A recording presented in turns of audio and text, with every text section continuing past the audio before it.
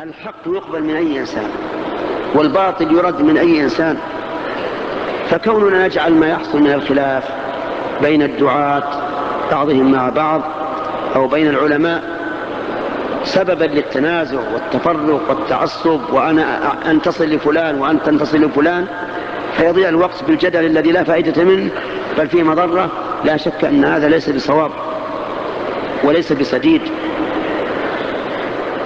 انظر ما ينفعك. امش في الطريق الذي ينفعك ودع ما لا يعنيك. ولا ولا تقس الحق بالرجال.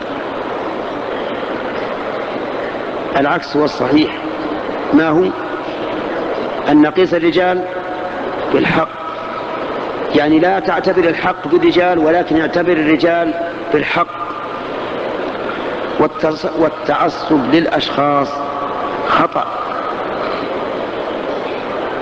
وأريد بهذا التعصب للأشخاص في مثل زمننا هذا لأنهم قد يخطئون. فهل توافق على الخطأ والصواب؟ لا. اجعل نيتك وما في قلبك أنك تتبع الحق أينما كان. ولا تتعصب. ولا تنافر أخاك. ولا تجعل للشيطان عليك طريقا يلقي بينك وبين أخيك العداوة والبغضاء من أجل التعصب.